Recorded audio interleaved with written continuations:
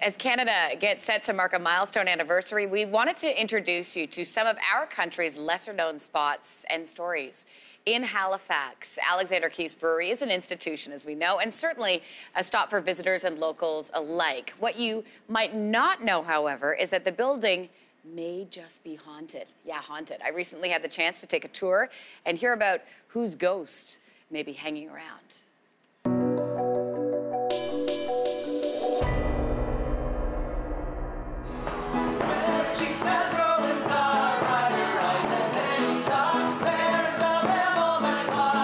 Had some visitors. We did, yeah. We have lots of visitors, actually. Yes, but, but some that are standing out in particular. You had mediums come through here? We did. We had a couple of psychics. There's a psychic convention in Nova Scotia.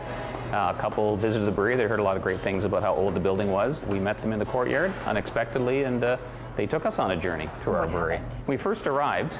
Uh, as soon as we slid open this door, uh, they both in unison looked up at the top of these stairs and both reacted sort of dramatically that, that Mr. Keith, somebody was up there and there was not, nobody up there that I, I was seeing, right? Okay. So I said, well, who's up there? And they said, well, there's the, the gentleman who runs the brewery is up there. And I said, well, what does he look like? And he talked about his mutton chops and salt and pepper and, and period outfit from the you know 1800s.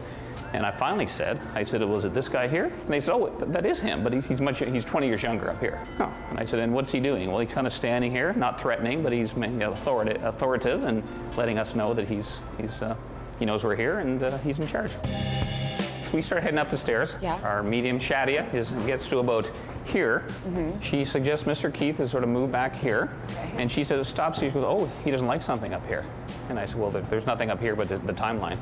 And she looks over here and says, uh, you have things that are that aren't real artifacts in the timeline.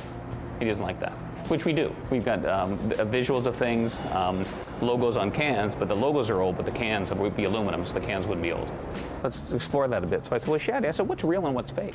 And she starts looking past me over here, right? So she's really not looking down here, and she literally went down the line, real, real, fake, real, kept looking back for answers. She's not even looking down.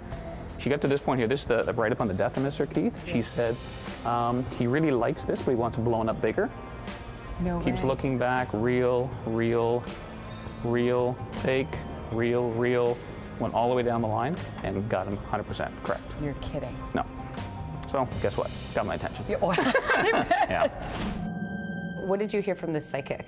Yeah, so the psychic, as she was touring the, uh, the house, was moving up these stairs. Uh, she started getting short of breath, uh, pain in her chest, pain in her head, significant pain in her head.